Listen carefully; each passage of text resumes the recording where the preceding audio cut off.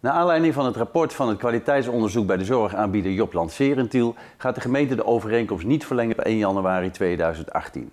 Ook geeft de gemeente geen beschikkingen meer af aan cliënten voor begeleiding.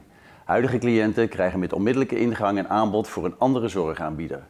Uit het kwaliteitsonderzoek kwam naar voren dat kwetsbare cliënten niet naar behoren de begeleiding kregen waarvoor zij geïndiceerd zijn. Dit ondanks het feit dat de zorgaanbieder ruim een half jaar de tijd had gekregen van de gemeente om verbeteringen te realiseren.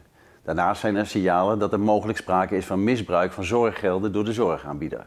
Dat komt naar voren uit de eerste resultaten van het uitgevoerde rechtmatigheidsonderzoek. De gemeente Tiel heeft dit gemeld bij het Openbaar Ministerie. Tiel heeft nauw samengewerkt met de regiogemeenten die ook inwoners in begeleiding hadden of hadden bij Job Lanceer. Er is een melding gedaan bij het Openbaar uh, Ministerie, uh, uh, omdat wij ook eigenlijk willen kijken of er rechtmatig gehandeld is de afgelopen tijd. En dat is op dit moment in onderzoek. ja, verder afwachten van wat de onderzoeken gaan, gaan leveren. En we concentreren ons nu natuurlijk op de juiste zorg voor de cliënten waar het over gaat.